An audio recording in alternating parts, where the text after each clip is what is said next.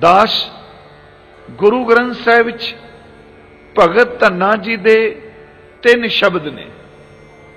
ਭਾਵੇਂ ਵਿਦਵਾਨਾਂ ਨੇ ਗਿਣਤੀ 4 ਕੀਤੀ ਹੈ, ਉਹ ਰਾਗ ਆਸਾ ਵਿੱਚ ਤਿੰਨ ਸ਼ਬਦ ਮੰਨਦੇ ਨੇ ਤੇ ਇੱਕ ਰਾਗ ਤਨਾਸਰੀ ਵਿੱਚ ਉਹਨਾਂ ਦਾ ਸ਼ਬਦ ਮੰਨਿਆ ਜਾਂਦਾ ਹੈ।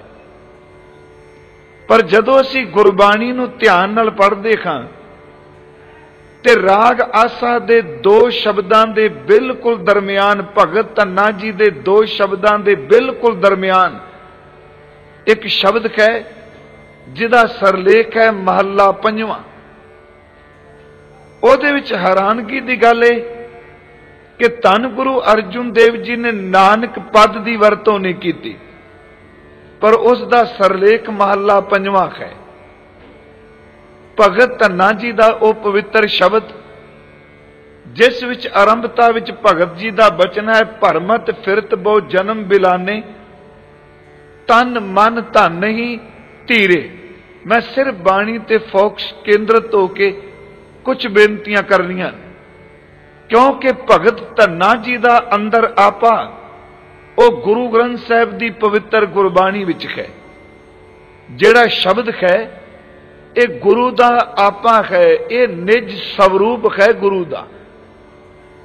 ਭਗਤ ਧੰਨਾ ਜੀ ਦੇ ਤਿੰਨ ਸ਼ਬਦਾਂ ਵਿੱਚੋਂ ਇੱਕ ਸ਼ਬਦ ਗੁਰੂ ਅਰਜੁਨ ਦੇਵ ਜੀ ਦਾ ਤੇ ਜਿਸ ਸ਼ਬਦ ਵਿੱਚ ਗੁਰੂ ਅਰਜੁਨ ਦੇਵ ਮਹਾਰਾਜ ਜੀ ਨੇ ਉਹਨਾਂ ਭਗਤਾਂ ਮਹਾਂਪੁਰਖਾਂ ਦਾ ਜ਼ਿਕਰ ਕੀਤਾ ਹੈ, ਜਿਨ੍ਹਾਂ ਨੂੰ ਉਸ ਵਕਤ ਦੇ ਸਵਰਨ ਜਾਤੀ ਵਾਲੇ, ਉੱਚੀ ਜ਼ਾਤ ਵਾਲੇ ਨੀਵਾ ਕਹਿੰਦੇ ਸਨ ਕੇਵਲ ਨੀਵਾ ਹੀ ਨਹੀਂ ਕਿ ਜੇ ਉਹ ਪ੍ਰਮਾਤਮਾ ਦੀ ਭਗਤੀ ਸਮਰਪਿਤਤਾ ਦਾ ਜ਼ਿਕਰ ਕਰਦੇ ਸਨ ਤੇ ਉਹਨਾਂ ਭਗਤਾਂ ਮਹਾਂਪੁਰਖਾਂ ਨੂੰ ਉੱਚੀ ਜ਼ਾਤ ਵਾਲੇ ਜ਼ਲੀਲ ਵੀ ਕਰਦੇ ਸਨ।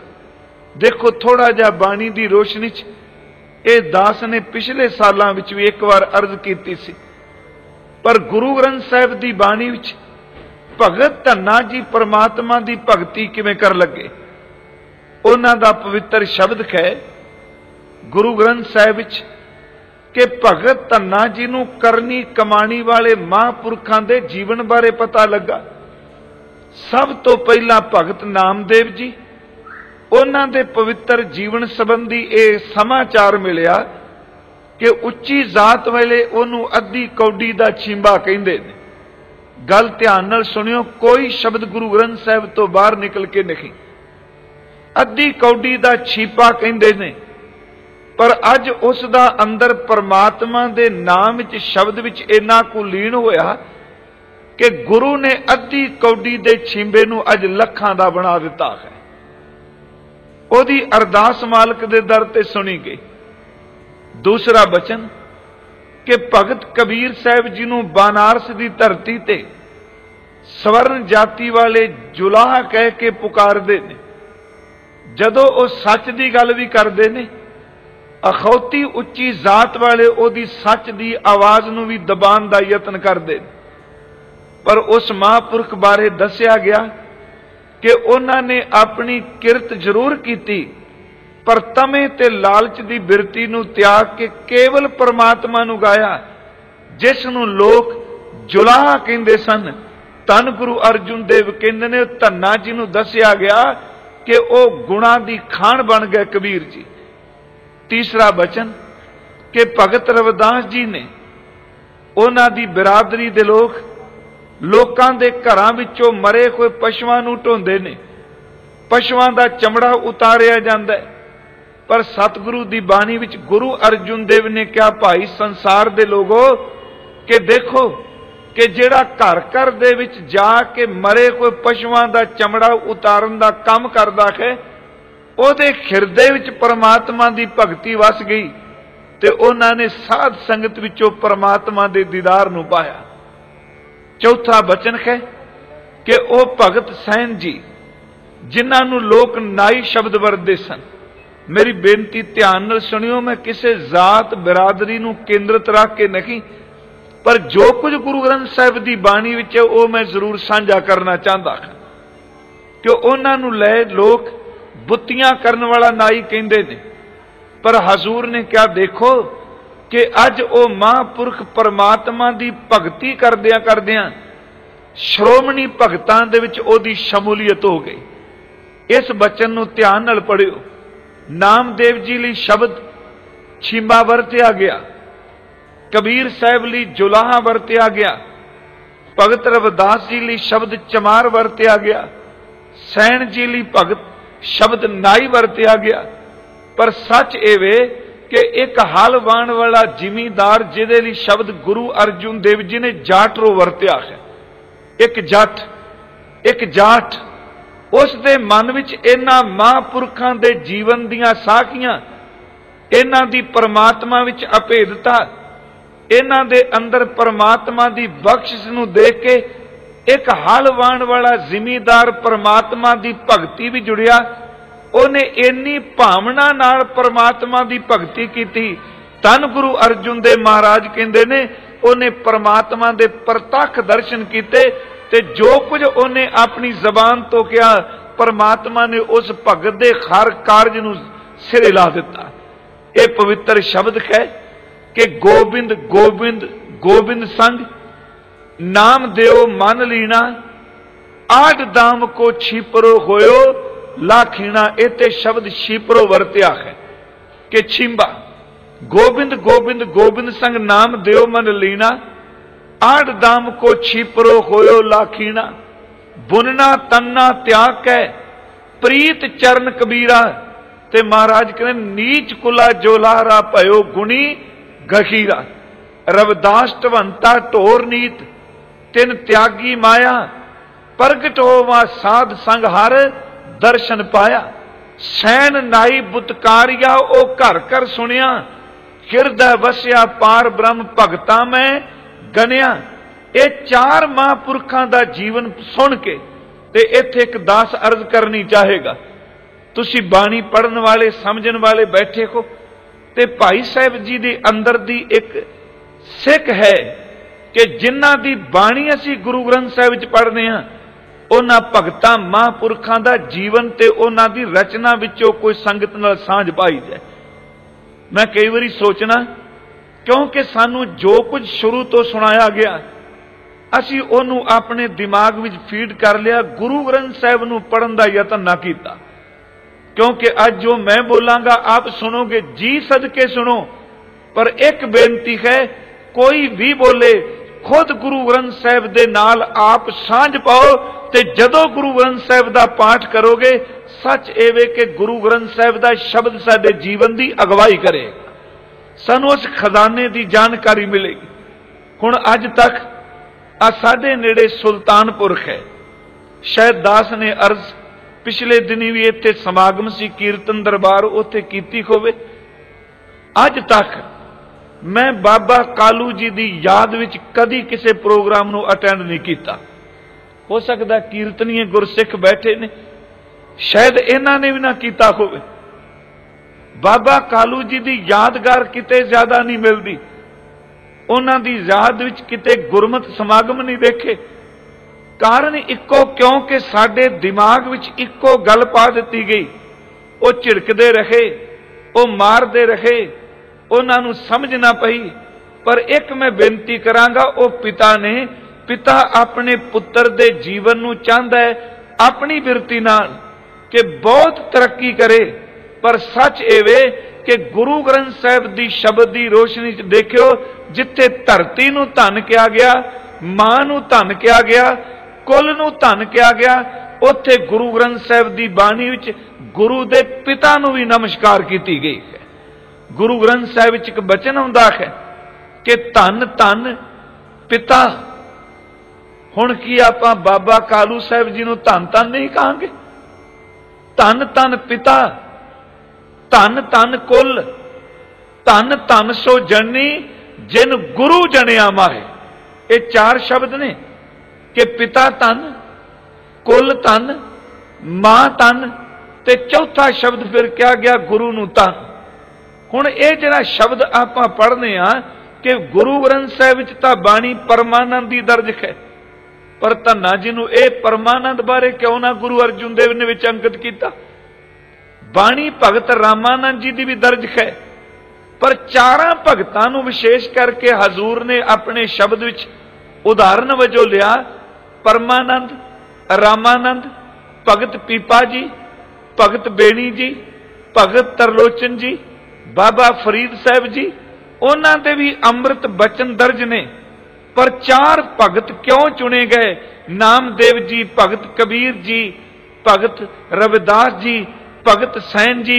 ਦਰਅਸਲ ਮੇਰਾ ਮਨ ਇਹ ਗੱਲ ਕਹਿੰਦਾ ਹੈ ਕਿ ਧੰਨ ਗੁਰੂ ਅਰਜੁਨ ਦੇਵ ਜੀ ਦਾ ਇਹ ਸ਼ਬਦ ਦਰਜ ਕਰਨ ਦਾ ਇੱਕੋ ਕਾਰਨ ਸੀ ਕਿ ਇੱਕ ਜ਼ਿਮੀਦਾਰਾ ਕਰਨ ਵਾਲਾ, ਉਹਨੂੰ ਇਹ ਗੱਲ ਦੱਸੀ ਗਈ ਕਿ ਜਿਨ੍ਹਾਂ ਨੂੰ ਪਿੰਡਾਂ ਦੇ ਲੋਕ ਨੀਚ ਕਹਿੰਦੇ ਨੇ ਦੇਖ ਉਹਨਾਂ ਉੱਪਰ ਪ੍ਰਮਾਤਮਾ ਦੀ ਇੰਨੀ ਕਿਰਪਾ ਹੋਈ, ਉਹ ਭਗਤੀ ਕਰ ਕਰਕੇ ਪ੍ਰਮਾਤਮਾ ਵਿੱਚ ਅਪੇਧ ਹੋ ਗਏ ਤੇ ਕਹਿੰਦੇ ਨੇ ਇਹਨਾਂ ਦੇ ਜੀਵਨ ਨੂੰ ਸੁਣ ਕੇ ਇੱਕ ਹਲ ਵਾਣ ਵਾਲੇ ਨੇ ਪ੍ਰਤੱਖ ਪ੍ਰਮਾਤਮਾ ਦੇ ਦੀਦਾਰ ਪਾ ਲਏ। ਰਾਮਾਨੰਦ, ਪਰਮਾਨੰਦ, ਇਹਦਾ ਮਤਲਬ ਇਹ ਨਹੀਂ ਕਿ ਉਹਨਾਂ ਦਾ ਜੀਵਨ ਜਾਂ ਉਹਨਾਂ ਦੀ ਰਚਨਾ ਵਿੱਚ ਕੋਈ ਅੰਤਰ ਹੈ। ਕਿਉਂਕਿ ਉਹਨਾਂ ਸੰਬੰਧੀ ਇਹ ਮਨੋਤ ਹੈ ਕਿ ਉਹ ਸਵਰਨ ਜਾਤੀ ਵਿੱਚੋਂ ਸੰਬੰਧਿਤ ਨੇ ਪਰ ਇਹਨਾਂ ਭਗਤਾਂ ਨੇ ਇੱਕ ਕ੍ਰਾਂਤੀ ਲਿਆਂਦੀ ਕਿ ਜਿਨ੍ਹਾਂ ਨੂੰ ਲੋਕ ਕਹਿੰਦੇ ਸਨ ਨੀਵੀਂ ਜ਼ਾਤ ਦੇ ਉਹਨਾਂ ਨੇ ਸੱਚ ਐਵੇਂ ਕਿ ਸਮਾਜ ਦੀਆਂ ਨਫ਼ਰਤ ਦੀਆਂ ਠੋਕਰਾਂ ਖਾਂਦਿਆਂ ਹੋਇਆਂ ਵੀ ਪਰਿਪੂਰਨ ਪਰਮਾਤਮਾ ਨੂੰ ਆਪਣੇ ਹਿਰਦੇ ਵਿੱਚ ਪ੍ਰਗਟ ਕਰ ਲਿਆ ਹੈ ਕਬੀਰ ਸਾਹਿਬ ਦਾ ਇੱਕ ਸ਼ਲੋਕ ਹੈ ਉਹ ਕਹਿੰਦੇ ਨੇ ਸੱਚ ਐਵੇਂ ਕਿ ਲੋਕ ਮੇਰੀ ਜ਼ਾਤ ਦਾ ਨਾਮ ਲੈ ਕੇ ਮਜ਼ਾਕ ਉਡਾਉਂਦੇ ਮੈਂ ਸ਼ਹਿਰ ਵਿੱਚ ਲੰਘਣਾ, ਪਿੰਡ ਵਿੱਚ ਲੰਘਣਾ ਤੇ ਉੱਚੀ ਜ਼ਾਤ ਵਾਲੇ ਲੋਕ ਮੇਰਾ ਨਾਮ ਲੈ ਕੇ ਪੁਕਾਰਦੇ ਨੇ।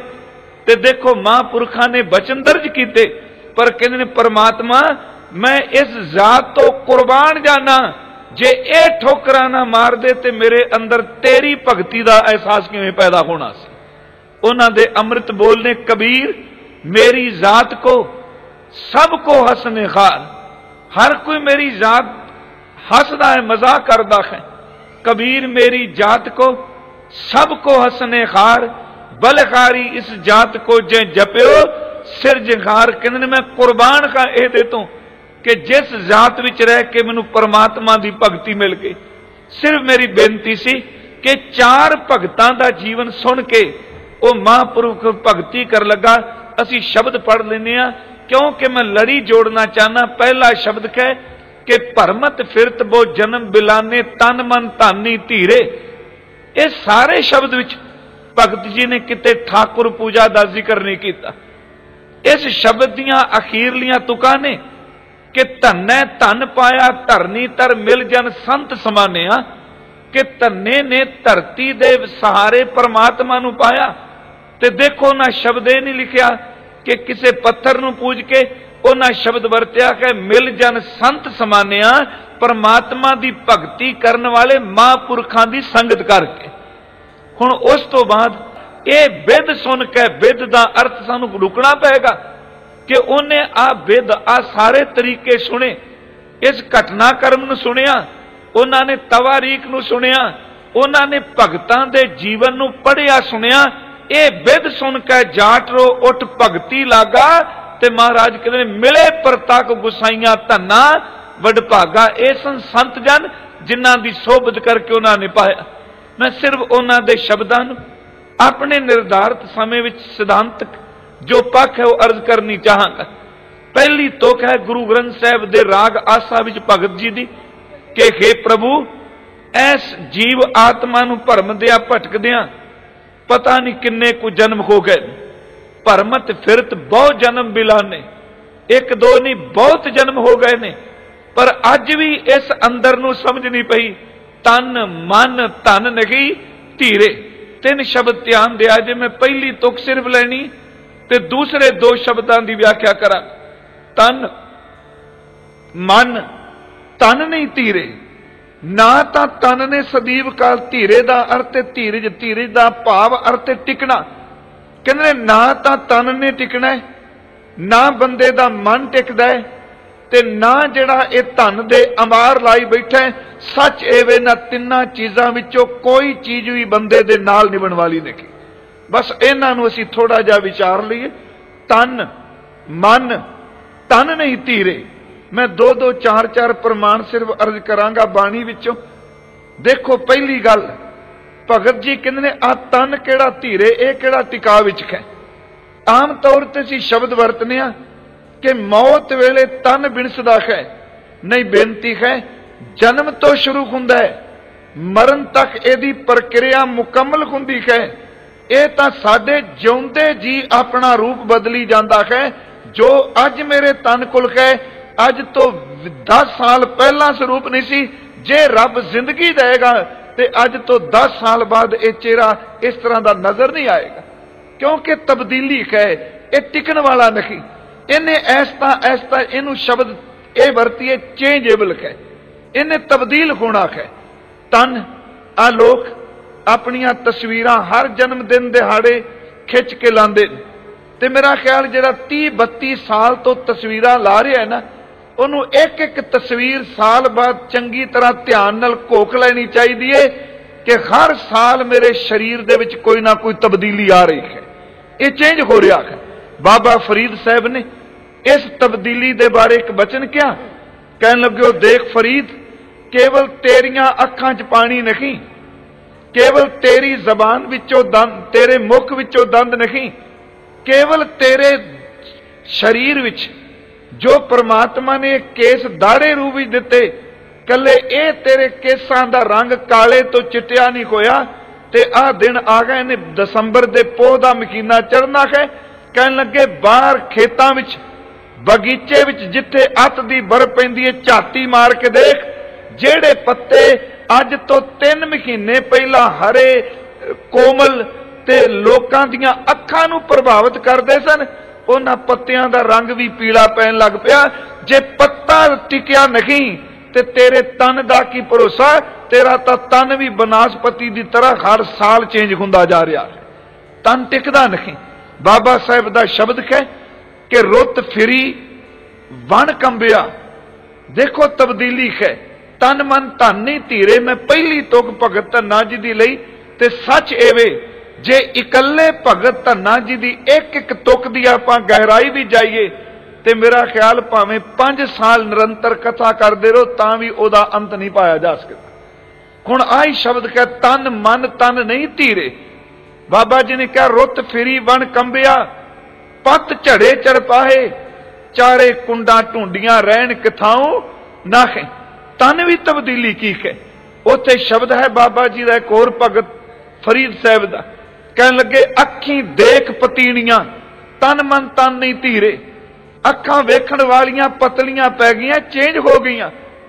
ਅੱਖੀ ਦੇਖ ਪਤੀਣੀਆਂ, ਸੁਣ ਸੁਣ ਰੀਣੇ ਕੰਨ, ਸੁਣਦਿਆਂ ਸੁਣਦਿਆਂ ਕੰਨ ਵੀ ਇੱਕ ਦਿਨ ਬੋਲੇ ਹੋ ਗਏ। ਸ਼ਾਖ ਪਕੰਦੀ ਆਇਆ ਕਿ ਜਿਵੇਂ ਰੁੱਖ ਤੇ ਪੱਤ ਝੜਾਵੇ ਤੇ ਉਹਦੇ ਪੱਤਿਆਂ ਦਾ ਰੰਗ ਤਬਦੀਲ ਹੋ ਜਾਂਦਾ ਹੈ। ਕਹਿੰਦੇ ਨੇ, ਸੱਚ ਐਵੇਂ ਕਿ ਜਿਹੜੀਆਂ ਸ਼ਾਖਾਵਾਂ ਤੈਨੂੰ ਮਿਲੀਆਂ ਸਨ ਮਨਾ ਦੇਖ ਅੱਜ ਤੇਰੇ ਇੰਦਰੀਆਂ ਤੇ ਚਮੜੀ ਦਾ ਰੰਗ ਵੀ ਤਬਦੀਲ ਹੋ ਗਿਆ ਹੈ ਸ਼ਾਖ ਪਕੰਦੀ ਆਇਆ ਖੋਰ ਕਰੇਂਦੀ ਵਨ ਇਹਨੂੰ 네ਗੇਟਿਵ ਅਪਰੋਚ ਨਹੀਂ ਕਿਉਂਕਿ ਤੁਸੀਂ ਸੁਗੜ ਸਿਆਣੇ ਸਰੋਤੇ ਕੋ ਸਾਡਾ ਤਨ ਚੇਂਜ ਹੋ ਰਿਹਾ ਹੈ ਭਗਤ ਤੰਨਾ ਜੀ ਪਹਿਲੀ ਗੱਲ ਗੁਰੂ ਗ੍ਰੰਥ ਸਾਹਿਬ ਜੀ ਕਹਿੰਦੇ ਨੇ ਬੰਦਿਆ ਇਹਨਾਂ ਤਿੰਨਾਂ ਚੀਜ਼ਾਂ ਦਾ ਤੈਨੂੰ ਮਾਨ ਹੈ ਮਨ ਦਾ ਤਨ ਦਾ ਤੇ ਧਨ ਦਾ ਮੈਂ ਤੈਨੂੰ ਦੱਸ ਦੇਵਾਂ ਇਹ ਤਿੰਨੇ ਹੀ ਤੇਰੇ ਨਹੀਂ ਤੇ ਇਹਨਾਂ ਤਿੰਨਾਂ ਨੇ ਤੇਰਾ ਸਾਥ ਨਹੀਂ ਦੇਣਾ ਇਹਨਾਂ ਨੇ ਚੇਂਜ ਹੋਣਾ ਹੀ ਹੋਣਾ ਹੈ ਹਾਂ, ਇੱਥੇ ਇੱਕ ਨੁਕਤਾ ਹੋਰ ਬੰਦਾ ਸੋਚਦਾ, ਮੈਂ ਚੇਂਜ ਨਹੀਂ ਹੋ ਰਿਹਾ। ਪਰ ਵਕਤ ਉਹਨੂੰ ਐਸਤਾ ਐਸਤਾ ਚੇਂਜ ਕਰਦਾ ਹੈ ਇੱਕ ਬੜੀ ਸੋਹਣੀ ਘਟਨਾ ਹੈ। ਬਾਬਾ ਫਰੀਦ ਸਾਹਿਬ ਦੀ ਮੈਂ ਦੋ ਕੁ ਬਚਨ ਖੋਰ ਸਾਂਝੇ ਕਰਨੇ ਨੇ।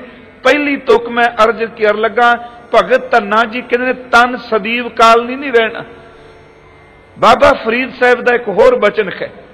ਇਹਨੂੰ 네ਗੇਟਿਵ ਅਪਰੋਚ ਬਿਲਕੁਲ ਨਹੀਂ ਲੈਣੀ। ਕਿਉਂਕਿ ਅਸਲ 'ਚ ਜਿਹੜਾ ਬਚਪਨ ਹੈ ਇਹਦਾ ਆਪਣਾ ਸੁਭਾਅ ਹੈ ਜਵਾਨੀ ਹੈ ਇਹਦਾ ਆਪਣਾ ਜੋਸ਼ ਦਾ ਹੜ ਹੈ ਬੁਢੇਪਾ ਹੈ ਇਹਦਾ ਆਪਣਾ ਤਜਰਬਾ ਹੈ ਆ ਜਿਹੜੀ ਸਾਡੀ ਜਨਰੇਸ਼ਨ ਗੈਪ ਹੈ ਨਾ, ਇਹਦਾ ਕਾਰਨ ਹੀ ਕੋਵੇ ਕਿ ਜਵਾਨੀ ਕਦੀ ਵੀ ਬੁਢੇਪੇ ਦੀ ਗੱਲ ਸੁਣਨ ਨੂੰ ਤਿਆਰ ਨਹੀਂ, ਪਰ ਜਦੋਂ ਆਪ ਬੁਢੇਪੇ ਵਿੱਚ ਆਉਂਦਾ ਹੈ ਤੇ ਉਦੋਂ ਮਾਂ-ਬਾਪ ਕੋਲ ਨਹੀਂ ਹੁੰਦੇ। ਪਰ ਇੱਕ ਗੱਲ ਕਹਿੰਦਾ, ਮੇਰੇ ਬਜ਼ੁਰਗ ਸੱਚ ਕਹਿੰਦੇ ਸਨ, ਉਦੋਂ ਮੈਂ ਸਮਝਿਆ ਨਹੀਂ।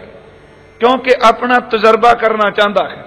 ਬਾਬਾ ਸਾਹਿਬ ਨੂੰ ਪੁੱਛੀਏ, ਉਹ ਕਹਿੰਦੇ ਨੇ, ਇਸ ਕਰਕੇ ਤਨ ਨਹੀਂ ਟਿਕਿਆ ਰਹਿਣਾ ਕਿ ਇਨਸਾਨ ਚੰਗਾ ਭਲਾ ਘਰ ਬੈਠਾ ਹੈ। ਸਵਾਸ ਚੱਲਦੇ ਪਏ ਨੇ।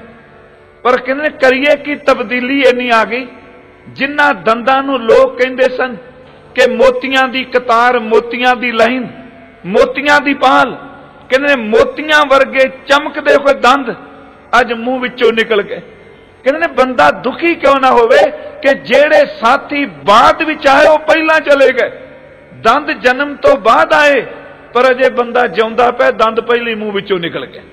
ਮਹਾਰਾਜ ਕਹਿਣਾ ਸ਼ੁਰੂ ਕਰ ਦਿੰਦਾ ਵੀ ਬੰਦਿਆ, ਚੇਤੇ ਰੱਖੀਏ, ਤਿਆਰੀ ਤੇਰੀ ਸ਼ੁਰੂ ਹੋ ਗਈ ਭੁਰਨ ਲੱਗ ਪਏ ਸਰੀਰ। ਕਿਉਂਕਿ ਤਨ ਮਨ ਤਨ ਨਹੀਂ ਧੀਰੇ ਤੇਰਾ ਤਨ ਭੁਰਨ ਲੱਗ ਪਿਆ ਹੈ ਦੰਦ ਨਿਕਲ ਗਏ ਤੇ ਬੰਦਾ ਸਮਝਦਾ ਨਹੀਂ। ਅੱਖਾਂ ਦੀ ਜੋਤ ਚਮਕਦੀ ਹੈ। ਸੱਚ ਵੇ, ਐਸਤਾ ਐਸਤਾ ਅੱਖਾਂ ਦੀ ਜੋਤ ਮੱਧਮ ਪੈ ਗਈ। ਕੰਨਾਂ ਦੀ ਸਰੋਤ ਖਤਮ ਹੋ ਗਈ। ਇੱਥੋਂ ਤੱਕ ਕਿ ਜਿਹੜੇ ਪੈਰ ਪਹਾੜਾਂ ਦੇ ਸ਼ਿਖਰ ਤੇ ਚੜ੍ਹਦੇ ਸਨ, ਅੱਜ ਉਹ ਬੰਦਾ, ਬਾਬਾ ਸਾਹਿਬ ਨੇ ਤਾਂ ਸ਼ਬਦ ਵਰਤਿਆ ਦੁਨੀਆ ਦੇ ਲੋਗੋ, ਮੇਰੇ ਸਰਾਣੇ ਵਜ਼ੂ ਕਰਨ ਵਾਲਾ ਪਾਣੀ ਦਾ ਕੁਜੜਾ ਹੈ ਅੱਜ ਮੇਰੇ ਕੋਲ ਇੰਨੀ ਤਾਕਤ ਨਹੀਂ, ਮੈਂ ਉੱਠ ਕੇ ਪਾਣੀ ਦਾ ਕੁੱਜਾ ਹੱਥਾਂ ਨਾਲ ਪਕੜ ਕੇ ਮੈਂ ਵੁਜੂ ਕਰ ਸਕਾਂ। ਸਮਰੱਥਾ ਨਹੀਂ, ਕਿਉਂਕਿ ਤਨ ਚੇਂਜੇਬਲ ਹੈ ਬਾਬਾ ਸਾਹਿਬ ਦੇ ਸ਼ਬਦ ਨੇ ਦੋ ਸ਼ਲੋਕ ਕਹਿਣ ਲੱਗੇ, ਉਹਨਾਂ ਦੇ ਅੰਮ੍ਰਿਤ ਬਚਨ ਨੇ। ਇੱਕ ਤਾਂ ਹੈ, ਬਾਬਾ ਸਾਹਿਬ ਜੀ ਦੇ ਅੰਮ੍ਰਿਤ ਸ਼ਲੋਕਾਂ ਵਿੱਚੋਂ ਚੱਬਣ, ਚੱਲਣ, ਰਤਨ, ਤਨ, ਮਨ, ਤਨ ਨਹੀਂ ਧੀਰੇ ਪਹਿਲਾ ਤੁਕ ਮੈਂ ਲਈ, ਪਹਿਲਾ ਸਿਰਫ ਇੱਕੋ ਸ਼ਬਦ ਲਿਆ, ਤਨ। ਫਿਰ ਮਨ, ਫਿਰ ਤਨ, ਤਿੰਨੇ ਚੀਜ਼ਾਂ ਸਥਿਰ ਨਹੀਂ। ਬਾਬਾ ਫਰੀਦ ਸਾਹਿਬ ਕਹਿੰਦੇ ਚੱਬਣ, ਚਲਣ, ਰਤਨ ਸੇ ਸੁਨੀਰ ਬਹਿ ਗਏ। ਖੇੜੇ ਮੁੱਤੀ ਤਾਂ ਤਨ ਨਹੀਂ ਧੀਰੇ ਸਰੀਰ ਨੇ ਤਾਂ ਮਾਰੀ, ਸੇ ਜਾਨੀ ਚੱਲ ਗਏ ਜਾਨੀਦਾਰ ਤੇ ਪਿਆਰੇ, ਕਿ ਜਿਹੜੇ ਪਿਆਰੇ ਅੰਗ, ਜਿਹੜੀ એનર્ਜੀ ਰੱਬ ਨੇ ਮੈਨੂੰ ਜਨਮ ਵੇਲੇ ਦਿੱਤੀ, ਅੱਜ ਤਨ ਰੋ ਕੇ ਕਹਿੰਦਾ, ਮੇਰਾ ਤਾਂ ਸਾਰੀ ਸਾਥ ਜੜ ਗਏ ਦੂਸਰਾ ਬਚਨ ਉਹਨਾਂ ਦਾ, ਕਿ ਫਰੀਦਾ ਉਹਨਾਂ ਦਾ ਅੰਮ੍ਰਿਤ ਬੋਚ ਇੰਨੀ ਨਿੱਕੀ ਜੰਗੀ ਹੈ ਥਲ ਡੂੰਗਰ ਪਵਿਓਮ ਅੱਜ ਫਰੀਦਾ ਕੁਜੜਾ ਸਹਿ ਕੋਹਾਂ ਥਿਓਮ ਅੱਜ ਉਹ ਕੁਜਾ ਸੈਂਕੜੇ ਕੋ ਦੂਰ ਲੱਗਦਾ ਹੈ ਇੱਕ ਉਰਦੂ ਦੇ ਅਦੀਬ ਨੇ ਬੜੀ ਸੋਹਣੀ ਘਟਨਾ ਲਿਖੀ ਹੈ ਦੇਖੋ ਬੰਦਾ ਸਵੀਕਾਰ ਦਾ ਨਹੀਂ ਕਿ ਮੇਰੇ ਤਨ ਇੱਕ ਦਿਨ ਖਾਕ ਦੇ سپرد ਹੋਣਾ ਹੈ ਕਦੀ ਨਹੀਂ ਬੰਦਾ ਸਮਝਦਾ ਤੇ ਅੱਜ ਵੀ ਮੈਂ ਬੇਨਤੀ ਕਰਾਂ ਕਿ ਅਸੀਂ ਮੌਤ ਦੀ ਗੱਲ ਕਰਨੇ ਆ, ਪਰ ਮੌਤ ਨੂੰ ਮਹਿਸੂਸ ਨਹੀਂ ਕਰਦੇ। ਮੂਲੇ ਨੇ ਵੀ ਲਿਖ ਦਿੱਤਾ ਸੀ ਕਿ ਮਰਨਾ ਸੱਚ ਤੇ ਜਿਉਣਾ ਝੂਠ, ਪਰ ਹਕੀਕਤ ਇਹ ਵੇ, ਲਿਖ ਉਹਨੇ ਦਿੱਤਾ, ਪਰ ਮਹਿਸੂਸ ਉਹਨੇ ਵੀ ਨਾ ਕੀਤਾ ਕਿ ਮੌਤ ਆਉਣੀ ਹੈ। ਉਹ ਵੀ ਤਾਂ ਬਾਬਾ ਜੀ ਦੇ ਅਮਰ ਜੀਵਨ ਨੂੰ ਛੱਡ ਕੇ ਮੌਤ ਵਾਲੇ ਪਾਸੇ ਗਿਆ, ਜਿੱਥੇ ਬਚਣਾ ਚਾਹੁੰਦਾ ਸੀ, ਮੌਤ ਉੱਥੇ ਕਰ ਖਲੋਤੀ ਹੋਈ ਸੀ। ਸਚਾਈ ਨਹੀਂ ਸਵੀਕਾਰ ਕੀਤੀ। ਕਹਿੰਦੇ ਨੇ ਇੱਕ ਬਾਦਸ਼ਾਹ ਸੀ, ਉਹ ਇੱਕ ਫਕੀਰ ਨੂੰ ਮਿਲਣ ਵਾਸਤੇ ਗਿਆ। ਫਕੀਰ ਦਾ ਅਰਥ ਵੈਸੇ ਆਪਾਂ ਉਰਦੂ ਵਿੱਚ ਮੰਗਤਾ ਕਰਨੇ ਖਾਂ ਫਕੀਰ ਦਾ ਅਰਥ ਮੰਗਤਾ ਹੈ, ਪਰ ਅਸਲ 'ਚ ਹਰ ਸ਼ਬਦ ਜਿਹੜਾ ਉਹਦੇ ਅਰਥ ਬੜੇ ਗਹਿਰੇ ਨੇ। ਜਦੋਂ ਫਕੀਰ ਲਿਖਿਆ ਜਾਂਦਾ ਭਾਈ ਸਾਹਿਬ ਉਰਦੂ ਦੇ ਜਾਣਕਾਰ ਨੇ ਤੇ ਜਿੰਨੇ ਵੀ ਸ਼ਬਦ ਬੋਲਦੇ ਨੇ, ਕਾਫੀ ਜ਼ਿਆਦਾ ਇਹਨਾਂ ਦੇ ਉਹਨਾਂ ਸ਼ਬਦਾਂ ਵਿੱਚ ਉਰਦੂ ਸ਼ਬਦਾਵਲੀ ਸਾਨੂੰ ਮਿਲਦੀ ਹੈ। ਹੁਣ ਜਦੋਂ ਅਸੀਂ ਫਕੀਰ ਲਿਖਨੇ ਆ, ਫੇ, ਕਾਫ ਇਹ ਤੇ ਰੇ, ਇਹ ਫਕੀਰ ਬਣਦਾ ਹੈ। ਜੇ ਅਸੀਂ ਪੰਜਾਬੀ ਚ ਨਾ ਲਿਖੀਏ, ਅਸਲ ਚ ਫਕੀਰ ਦਾ ਅਰਥ, ਮੰਗਤੇ ਦਾ ਅਰਥ ਉਹ ਨਹੀਂ ਜਿਹੜਾ ਬਾਹਰ ਮੁਖੀ ਮੰਗ ਰਿਹਾ ਬਾਣੀ ਵਿੱਚ ਜਦੋਂ ਕਿਤੇ ਜ਼ਿਕਰ ਮਿਲੇਗਾ ਤੇ ਉਹਦੇ ਵਿੱਚ ਫਕੀਰ ਦੇ ਅਰਥ ਆਪਾਂ ਬਹੁ ਗਿਣਤੀ ਵਿੱਚ ਰੱਬ ਦੇ ਦਰ ਦਾ ਆਜ ਮੰਗਾ। ਮੰਗਤਾ ਰੱਬ ਦੇ ਦਰ ਦਾ। ਉਂਝ ਇੱਕ ਵਿਦਵਾਨ ਨੇ ਫਕੀਰ ਦੇ ਅਰਥ ਕੀਤੇ। ਉਹ ਕਹਿੰਦਾ ਜੋ ਪਹਿਲਾ ਫੇਕ ਹੈ, ਜਿਹਨੂੰ ਆਪਾਂ ਫੱਫਾ ਕਹਿੰਦੇ ਫੱਫਾ ਕੱਕੇ ਨੂੰ ਬਿਹਾਰੀ ਤੇ ਰਾਰਾ ਫਕੀਰ ਬਣੇਗਾ। ਉੱਥੇ ਫੇ ਕਾਫ ਇਹ ਤੇ ਰੇ ਹਰੂਫ ਚਾਰ ਹੀ ਪਹਿਲੇ ਫੇ ਦਾ ਅਰਥ ਤੇ ਫਖਰ, ਕਹਿੰਦੇ ਨੇ ਫਕੀਰ ਹੋਵੇ ਜਿਹੜਾ ਦੁਨੀਆ ਤੇ ਫਖਰ ਨਹੀਂ ਕਰਦਾ, ਧਨ ਤੇ ਫਖਰ ਨਹੀਂ ਕਰਦਾ, ਜਿਹੜਾ ਕੇਵਲ ਇੱਕ ਅੱਲਾ ਦੇ ਫਖਰ ਤੇ ਜਿੰਦਾ, ਰੱਬ ਉੱਤੇ ਮਾਣ ਕਰਕੇ ਜਿੰਦਾ। ਦੂਸਰਾ, ਅਗਲਾ ਸ਼ਬਦ ਹੈ, ਕਾਫ। ਕਾਫ ਦਾ ਅਰਥ ਉਹ ਕਰਦੇ ਨੇ ਕੁਦਰਤ। ਜਿਵੇਂ ਭਾਈ ਸਾਹਿਬ ਕਹਿ ਰਹੇ ਸਨ ਕਿ ਸਾਰਿਆਂ ਵਿੱਚ ਪਰਮਾਤਮਾ ਦਿਸੇ।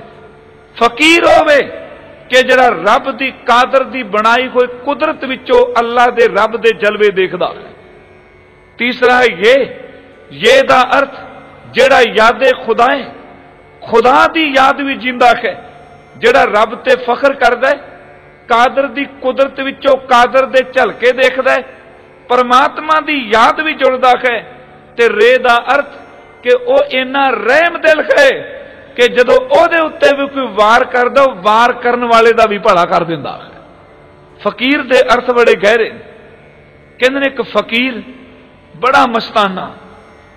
ਰੱਬ ਦੀ ਯਾਦ ਜੁੜਿਆ ਹੋਇਆ। ਤੇ ਦੇਖੋ ਭਾਈ ਸਾਹਿਬ ਨੇ ਤਾਂ ਗੁਰੂ ਸਾਹਿਬ ਲਈ ਵੀ ਸ਼ਬਦ ਫਕੀਰ ਵਰਤਿਆ। ਇੱਕ ਫਕੀਰ ਵੱਡਾ ਮਸਤਾਨਾ। ਫਕੀਰ ਬੈਠਾ ਹੈ। ਤੇ ਉਹ ਆਪਣੀ ਮੌਜ ਬੋਲਦਾ ਹੈ। ਸੱਚ ਏਵੇਂ ਕਿ ਸਾਡੇ ਅੰਦਰ ਦੀਆਂ ਇੱਛਾਵਾਂ ਹੀ ਸਾਨੂੰ ਮੰਗਤਾ ਬਣਾ ਦਿੰਦੀਆਂ ਨੇ। ਜਿਹਦੇ ਅੰਦਰ ਦੀ ਇੱਛਾ ਮਰ ਜਾਏ, ਉਹਦੇ ਵਰਗਾ ਸ਼ਹਿਨशाह ਹੀ ਕੋਈ ਨਹੀਂ।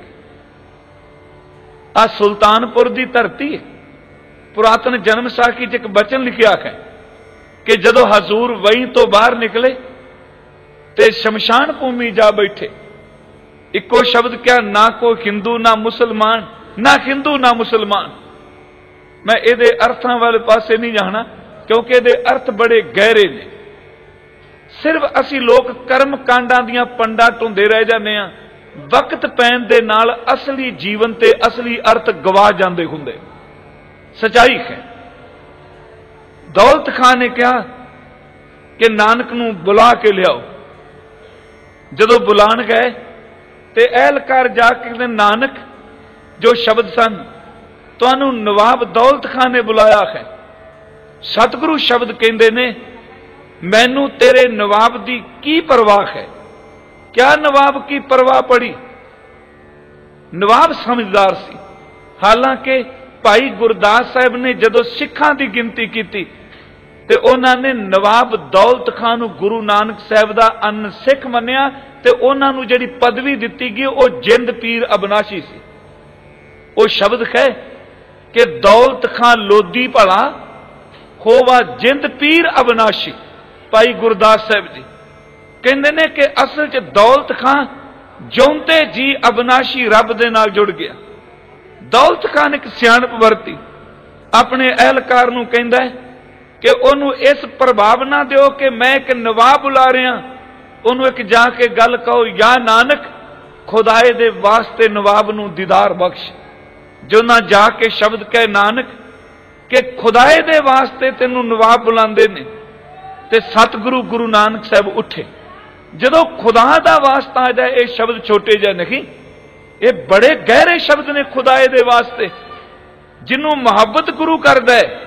ਦੇਖੋ, ਅੱਜ ਤੁਸੀਂ ਕਿਸੇ ਨੂੰ ਪਿਆਰ ਕਰਦੇ ਹੋ, ਕੋਈ ਲੋੜਵੰਦ ਬੰਦਾ ਆ ਜਾਏ ਤੇ ਤੁਹਾਡੇ ਉਸ ਹਮਦਰਦ ਮਿੱਤਰ ਦਾ ਜ਼ਿਕਰ ਕਰੇ ਤੇ ਇੱਕੋ ਦਮ ਤੁਹਾਡੀ ਬੋਲੀ ਚੇਂਜ ਹੋ ਜਾਏਗੀ ਕਿ ਮੇਰੇ ਪਿਆਰੇ ਦਾ ਜ਼ਿਕਰ ਕਰ ਰਹੇ ਤੇ ਜਿਸ ਖੁਦਾ ਨੂੰ ਗੁਰੂ ਨਾਨਕ ਮੁਹੱਬਤ ਕਰਦੇ ਨੇ, ਜਦੋਂ ਉਹਨਾਂ ਦਾ ਕੋਈ ਵਾਸਤਾ ਪਾਏ ਤੇ ਗੁਰੂ ਨਾਨਕ ਖੁਦ ਚੱਲ ਕੇ ਚਲੇ ਜਾਂਦੇ।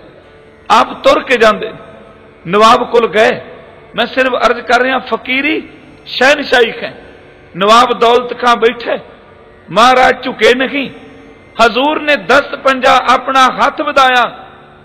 ਨਵਾਬ ਦੌਲਤ ਖਾਨ ਨੂੰ ਹੱਥ ਮਿਲਾਇਆ। ਥੱਲੇ ਬੈਠੇ ਹੋਇਆਂ ਨੇ ਕਿਹਾ, ਦੇਖੋ ਖਾਨ ਸਾਹਿਬ, ਕਿ ਅੱਜ ਨਾਨਕ ਕੱਲ ਤੱਕ ਮੋਦੀ ਸੀ। ਅੱਜ ਉਹ ਤੁਹਾਡੇ ਨਾਲ ਦਸਤ ਪੰਜਾ ਹੱਥ ਮਿਲਾ ਰਿਹਾ ਹੈ। ਇਹ ਤੁਹਾਡੀ ਤੋਹੀਨ ਨਹੀਂ। ਇਹ ਸਿਰ ਝੁਕਾ ਕੇ ਸਜਦਾ ਕਿਉਂ ਨਹੀਂ ਕਰਦਾ? ਤੇ ਕਿਨੇ ਦੌਲਤ ਖਾਨ ਦੇ ਬੋਲਣ ਤੋਂ ਪਹਿਲਾਂ ਹਜ਼ੂਰ ਨੇ ਕਿਹਾ, ਚੇਤੇ ਰੱਖਿਓ, ਖਿਰਸੀ ਬੰਦੇ ਸਿਰ ਝੁਕਾਉਂਦੇ ਹੁੰਦੇ ਨੇ। ਜਿਹਦੇ ਅੰਦਰ ਦੀ ਖਿਰਸ ਮਰ ਜਾ ਉਹਨੂੰ ਕਿਸੇ ਨਵਾਬ ਅੱਗੇ ਸਿਰ ਝੁਕਾਉਣ ਦੀ ਕੋਈ ਜ਼ਰੂਰਤ ਨਹੀਂ। ਮੈਨੂੰ ਕੋਈ ਖਿਰਸ ਨਹੀਂ। ਖਿਰਚ ਦਾ ਮਤਲਬ ਤਮਾ, ਲਾਲਚ। ਮੈਨੂੰ ਕੋਈ ਲਾਲਚ ਨਹੀਂ। ਮੈਂ ਬੇਨਤੀ ਕਰਾਂ ਕਿ ਫਕੀਰੀ ਉਹਦੇ ਸਾਹਮਣੇ ਸਿਕੰਦਰ ਦੀ ਸ਼ਹਿਨशाही ਕੀ ਅਰਥ ਰੱਖਦੀ ਹੈ? ਉਹ ਫਕੀਰ ਬੜਾ ਮਸਤ ਬੈਠਾ ਹੈ ਤੇ ਮੈਂ ਸ਼ੁਰੂਆਤ ਕੀਤੀ ਹੈ, ਤਨ ਮਨ ਧਨ ਨਹੀਂ ਧੀਰੇ। ਬਾਦਸ਼ਾਹ ਉਹਦੇ ਦਰਸ਼ਨ ਕਰ ਲਈ ਗਿਆ। ਫਕੀਰ ਆਪਣੀ ਮੌਜ ਵਿੱਚ ਆ ਕੇ ਕੁਝ ਵੀ ਬੋਲ ਦਿੰਦਾ ਹੈ। ਬਾਦਸ਼ਾਹ ਨੇ ਸੋਚਿਆ, ਜੇ ਕਿਸੇ ਨੌਕਰ ਮੰਤਰੀ, ਸੰਤਰੀ ਨੂੰ ਲੈ ਕੇ ਗਿਆ, ਫਕੀਰ ਦਾ ਕੋਈ ਪਤਾ ਨਹੀਂ ਜ਼ਬਾਨ ਤੋਂ ਕੀ ਬੋਲ ਦੇਵੇ।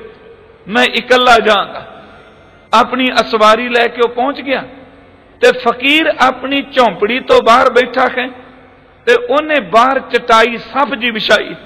ਇੱਕ ਚੇਲਾ ਉਹਦਾ। ਫਕੀਰ ਨੇ ਆਵਾਜ਼ ਦੇ ਕੇ ਕਿਹਾ, ਉਹ ਚੇਲਿਆ, ਚੇਲਾ ਭੱਜ ਕੇ ਆਇਆ। ਕਹਿਣ ਲੱਗਾ, ਜਿਹੜੀ ਸਭ ਤੂੰ ਅੱਜ ਮੇਰੇ ਸਾਹਮਣੇ ਵਿਛਾਈ ਹੈ, ਇਹਨੂੰ ਲਪੇਟ ਕੇ ਅੰਦਰ ਰੱਖ ਦੇ। ਉਹਨੇ ਕਿਹਾ, ਮਹਾਰਾਜ, ਕੋਈ ਅਤਿਥੀ, ਕੋਈ ਮਹਿਮਾਨ, ਕੋਈ ਲੋੜਵੰਦ ਮਿਲ ਨਾ ਸਕਦਾ ਹੈ। ਕਹਿਣ ਲੱਗੇ, ਤੂੰ ਸਵਾਲ ਨਾ ਕਰ, ਸਿਰਫ ਤੂੰ ਸਾਡੀ ਗੱਲ ਮੰਨ। ਉਹਨੇ ਸਭ ਲਪੇਟੀ ਤੇ ਅੰਦਰ ਰੱਖ ਦਿੱਤੀ। ਬਾਦਸ਼ਾਹ ਆਇਆ, ਫਕੀਰ ਨੇਤਰ ਬੰਦ ਕਰਕੇ ਬੈਠਾ ਹੈ।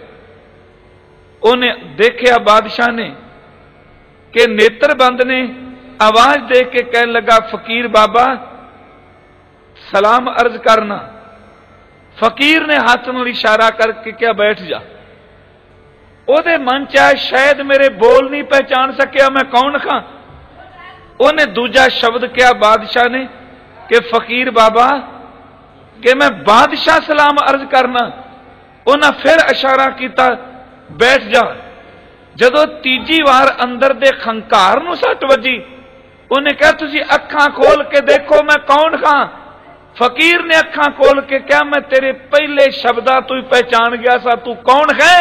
ਤੇ ਮੈਂ ਤੈਨੂੰ ਕਹਿ ਰਿਹਾ, ਜ਼ਮੀਨ ਉੱਤੇ ਬੈਠ ਜਾ। ਉਹਦੇ ਮਨ ਚ ਆਇਆ ਵੀ ਮੇਰਾ ਚੋਲਾ ਇੰਨਾ ਕੀਮਤੀ, ਹੁਣ ਬਾਦਸ਼ਾਹ ਦਾ ਚੋਲਾ ਕੋਈ ਮਾਮੂਲੀ ਦਾ ਨਹੀਂ। ਜਿਹਦੇ ਪੈਰਾਂ ਥੱਲੇ ਲੋਕ ਗਲੀਚੇ ਵਿਛਾਉਂਦੇ ਹੁਣ, ਜੁੱਤੀ ਥੱਲੇ ਉਹ ਫਕੀਰ ਦੀ ਜ਼ਬਾਨ 'ਚ ਇੰਨੀ ਜੋਸ਼ ਸੀ ਕਿ ਬਾਦਸ਼ਾਹ ਨਿੱਠ ਕੇ ਚੌਂਕੜੀ ਮਾਰ ਕੇ ਨਹੀਂ ਬੈਠਾ। ਉਹਨੇ ਆਪਣੇ ਚੋਗੇ ਨੂੰ ਪਿੱਛੋਂ ਚੁੱਕਿਆ, ਝੋਲੀ 'ਚ ਪਾ ਕੇ ਉਹ ਪੈਰਾਂ ਭਾਰ ਬੈਠ ਗਿਆ। ਪਿੱਠ ਜ਼ਮੀਨ ਉੱਤੇ ਨਿੱਠ ਕੇ ਨਹੀਂ ਬੈਠਿਆ। ਜਦੋਂ ਉਹ ਪੈਰਾਂ ਭਾਰ ਬੈਠਾ ਤੇ ਫਕੀਰ ਤਾੜੀ ਮਾਰ ਕੇ ਹੱਸਣ ਲੱਗ ਪਿਆ। ਆਵਾਜ਼ ਦੇ ਕੇ ਕਹਿੰਦਾ, ਉਹ ਚੇਲੇ ਭੱਜ ਗਿਆ ਅੱਜ ਮੈਂ ਤੈਨੂੰ ਇੱਕ ਤਮਾਸ਼ਾ ਦਿਖਾਵਾਂ। ਹੁਣ ਬਾਦਸ਼ਾਹ ਬੈਠਾ ਹੈ, ਫਕੀਰ ਬੋਲਦਾ ਹੈ, ਆ ਦੌੜ ਕੇ ਚੇਲੇ ਨੂੰ ਮੈਂ ਤੈਨੂੰ ਤਮਾਸ਼ਾ ਦਿਖਾਵਾਂ। ਬਾਦਸ਼ਾਹ ਕਹਿੰਦਾ, ਇੱਕ ਮੈਂ, ਦੂਜਾ ਨੌ, ਇਹਦਾ ਦਾਸ, ਤੀਜਾ ਫਕੀਰ, ਕਿਤੇ ਮੇਰਾ ਤੇ ਨਹੀਂ ਤਮਾਸ਼ਾ ਬਣ ਰਿਹਾ? ਸੋਚਿਆ ਜ਼ਰੂਰ, ਪਰ ਸਮਝਿਆ ਨਹੀਂ। ਚੇਤੇ ਰੱਖਿਓ, ਸੋਚਣ ਤੇ ਸਮਝਣ ਵਿੱਚ ਅੰਤਰ ਹੈ। ਉਹਨੇ ਕਿਹਾ, ਮੇਰਾ ਤਮਾਸ਼ਾ ਤਾਂ ਨਹੀਂ? ਚੇਲਾ ਭੱਜ ਕੇ ਆਇਆ, ਕਹਿਣ ਲੱਗਾ, ਫਕੀਰ ਬਾਬਾ, ਕਿਹਦਾ ਤਮਾਸ਼ਾ? تے اس وقت فقیر نے اس بیٹے کو بادشاہ والا اشارہ کر کے کیا بیٹا، حضرت انسان کا کیسا تکبر تیج ہے؟ حضرت انسان کا کیسا تکبر تیج ہے؟ خاک کا پتلا بنا مگر خاک سے پرہیز ہے۔ خاک کا پتلا بنا مگر خاک سے پرہیز ہے۔ یہ مٹی دا پتلا بنیا ہے۔ ਤੇ ਆਪਣੇ ਤਨ ਤੇ ਇੰਨਾ ਮਾਣ ਕਰਦਾ ਜਿਸ ਮਿੱਟੀ ਵਿੱਚ ਕੱਲ ਮੈਂ ਤਨ ਨੂੰ ਮਿਲਣਾ ਇਹ ਮਿੱਟੀ ਤੋਂ ਨਫ਼ਰਤ ਕਰ ਰਿਹਾ ਇਹ ਸਮਝਦਾ ਮੇਰਾ ਚੰਨ ਤਨ ਚੇਂਜ ਨਹੀਂ ਹੋਣਾ। ਸ਼ਾਇਦ ਇਹੀ ਕਾਰਨ ਭਾਈ ਸਾਹਿਬ ਪੜ੍ਹਦੇ ਹੁੰਦੇ ਨੇ, ਬਾਬੇ ਫਰੀਦ ਦੇ ਸ਼ਬਦ, ਸ਼ਲੋਕ। ਤੇ ਮੈਂ ਥੋੜਾ ਜਿਹਾ ਅੱਜ ਭਗਤ ਜੀ ਦੇ ਬੈਠੀ, ਧੰਨਾ ਜੀ ਦੇ ਤਿੰਨ ਇਹ ਪਵਿੱਤਰ ਸ਼ਬਦ ਲਏ ਨੇ, ਤਨ, ਮਨ ਤੇ ਤਨ। ਬਾਬਾ ਫਰੀਦ ਨੂੰ ਪੁੱਛੋ, ਤਨ ਚੇਂਜੇਬਲ ਕਿਵੇਂ ਹੈ? ਉਹ ਤਾਂ ਇੱਥੋਂ ਤੱਕ ਕਹਿੰਦੇ ਨੇ ਕਿ ਫਰੀਦਾ ਖਾਕ ਨਾ ਨਿੰਦੀਐ ਖਾਕੂ ਜੇੜ ਨਾ ਕੋਏ, ਜੀਵਦਿਆਂ ਪੈਰਾਂ ਤਲੇ ਮੋਇਆ, ਉੱਪਰ ਹੋਏ ਇਹਦੇ ਅਰਥ ਵੀ ਬੜੇ ਗਹਿਰੇ ਚੇਤੇ ਰੱਖਿਓ ਕਿ ਜਿਹੜਾ ਨਿਮਰਤਾ ਚ ਰਹਿੰਦਾ ਹੈ ਜ਼ੋਰ ਵਾਲਾ ਨਿਵਾਣ ਦਾ ਯਤਨ ਕਰਦਾ ਹੈ ਰੱਬ ਕਈ ਵਾਰੀ ਇਹੋ ਜਿਹਾ ਸਮਾਂ ਲਿਆਉਂਦਾ ਹੈ ਜਿਨ੍ਹਾਂ ਨੂੰ ਬੰਦਾ ਨਿਵਾਣ ਦਾ ਯਤਨ ਕਰਦਾ ਹੈ ਉਹਨਾਂ ਨੂੰ ਰੱਬ ਸ਼ੈਨਸ਼ਾਹੀਆਂ ਦਿੰਦਾ ਹੈ ਤੇ ਜਿਹੜੇ ਝੁਕਾਣ ਦਾ ਯਤਨ ਕਰਦੇ ਨੇ, ਉਹਨਾਂ ਨੂੰ ਭਿਖਾਰੀ ਬਣਾ ਕੇ ਰੱਖ ਦਿੰਦਾ। ਜਿਉਂਦਿਆਂ ਮਿੱਟੀ ਪੈਰਾਂ ਥੱਲੇ ਮਰਿਆ ਤੇ ਮਿੱਟੀ ਬੰਦੇ ਉੱਤੇ ਆ ਗਈ। ਬਾਬਾ ਸਾਹਿਬ ਨੇ ਇਸੇ ਕਰਕੇ ਤਨ ਦਾ ਜ਼ਿਕਰ ਕਰਦਿਆਂ ਕਿਹਾ, ਫਰੀਦਾ, ਜਿਨ ਲੋਇਣ ਜਗ ਮੋਇਆ ਸੇ ਲੋਇਣ ਮੈਂ ਡਿਠ, ਕੱਜਲ ਰੇਖ ਨਾ ਸਹਿੰਦਿਆਂ ਸੇ ਪੰਕੀ ਸੁਏ ਬਖਿਟ ਭਗਤ ਤੰਨਾ ਜੀ, ਪਹਿਲਾ ਸ਼ਬਦ ਕਹਿੰਦੇ ਨੇ, ਨਿਸ਼ਾਨ, ਤੇਰਾ ਤਨ ਸਦੀਵ ਕਾਲ ਵਾਸਤੇ ਸਥਿਰ ਨਖੀ।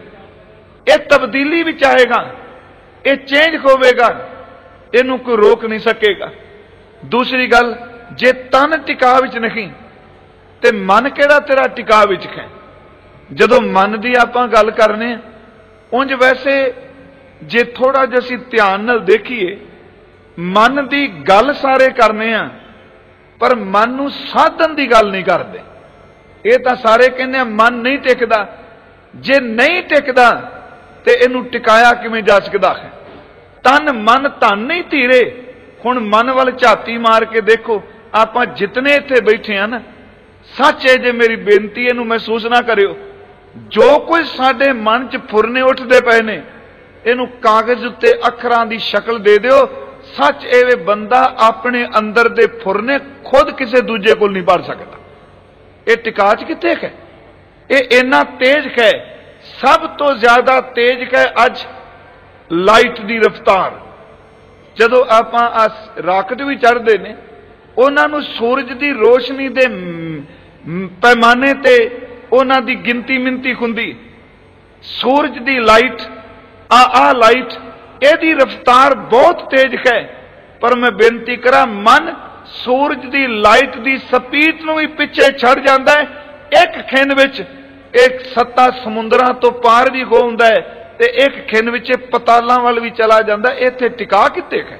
ਤਾਂ ਹੀ ਬਾਬਾ ਸਾਹਿਬ ਨੇ ਕਿਹਾ, ਕਬੂ ਜੀੜਾ ਊਬ ਚੜਤ ਹੈ, ਕਬੂ ਜਾਏ ਪਿਆਲੇ, ਲੋਭੀ ਜੀੜਾ ਥਿਰਨਾ ਰਹਤਾ ਹੈ, ਚਾਰੇ ਕੁੰਡਾਂ ਭਾਲੇ।